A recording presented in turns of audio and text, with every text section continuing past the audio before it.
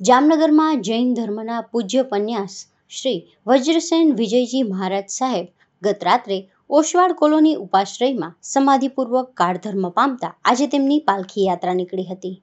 સાંજે ચાર કલાકે ઓશવાડ કોલોની દેરાસર ઉપાશ્રયથી પાલખી યાત્રાએ પ્રસ્થાન કર્યું હતું. પાલખી યાત્રામાં કુલ રૂપિયા બે કરોડ પંચ્યાસી લાખ બાવન હજાર બસો એકવીસનો ચડાવો અર્પણ થયો હતો.